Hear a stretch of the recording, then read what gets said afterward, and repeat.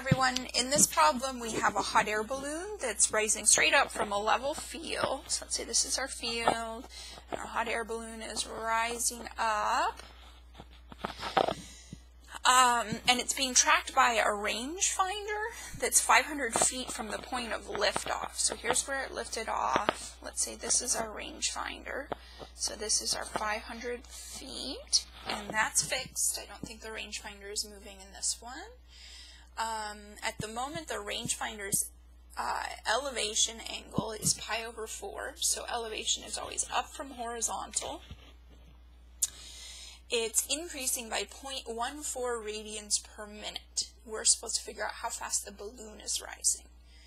Okay, so we know that when this angle, which is changing, so I'm going to give it a name, we know that when theta is equal to pi over 4, d theta dt is equal to 0.14. Mm, radians per minute. You don't technically have to write the radians, but I don't want to lose track of what my time units are. How fast is the balloon rising? So I'm going to call this h, and we're looking for dh dt. Okay, so formula relating theta to h and 500, this is going to be a tangent. Tangent theta is h over 500. Um, okay, so we know a theta and a d theta dt, so I am just fine with thetas continuing to show up even after I take the derivative.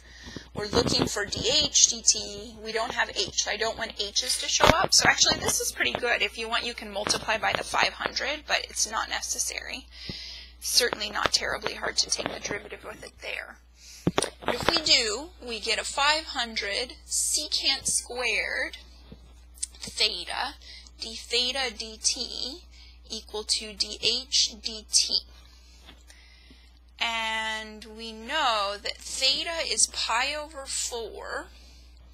I'm going to make this secant into a 1 over cosine squared because then I think I can actually figure that out fairly easily. And then this is 0.14 d theta dt. Okay, so let's think about this. Cosine of pi over 4 is 1 over the square root of 2, or root 2 over 2, whichever way you think of that.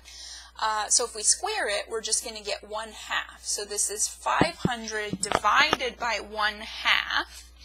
Dividing by 1 half is the same as multiplying by 2.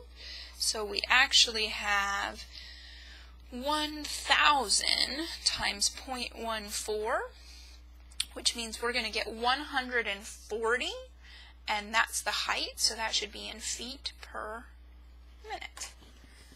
All right, thanks for watching.